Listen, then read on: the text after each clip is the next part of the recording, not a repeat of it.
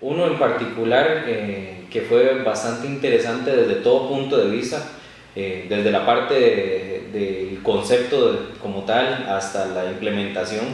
es eh, un proyecto de almacenamiento que le llevamos a cabo a Economy Rentacar. Economy es un cliente bien querido por nosotros, principalmente porque él ha puesto su confianza en, en, nosotros para el tema de manejo de una serie de servicios que manejamos y en uno en particular, eh, y uno de los retos que ellos estaban llevando por un tema de regulación, un tema, eh, digamos, de aseguramiento de su negocio, era el del almacenamiento, justamente. Ellos con nosotros, bueno, nosotros administramos eh, todo lo que es el tema de la infraestructura de ellos, y uno de los puntos importantes era el tema de protección de datos. Y esa protección de datos no significaba únicamente respaldar sus datos dentro del mismo centro de datos, sino, o en su misma infraestructura, sino que adicionalmente ellos necesitaban un sitio alterno. Eh,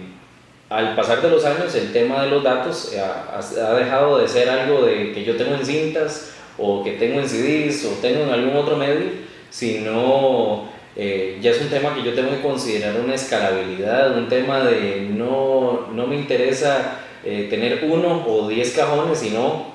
crecer conforme mi negocio me lo va requiriendo.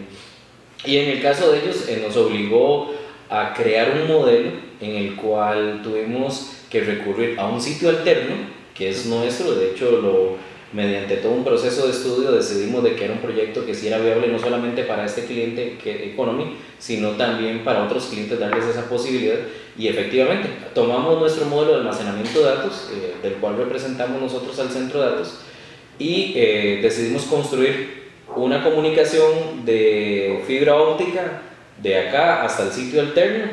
que lo tenemos en Escazú, y montamos una réplica exacta del almacenamiento de datos que tenemos acá para replicarle sus datos prácticamente en tiempo real. Estamos hablando, son réplicas prácticamente entre 5 y 15 minutos de datos, eh, la cual le da posibilidad al cliente no solamente de darle una continuidad de negocio,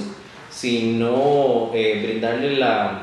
seguridad de que puedan recuperar esa información en el momento que la requieran, en el punto de recuperación que ellos así elijan recuperar.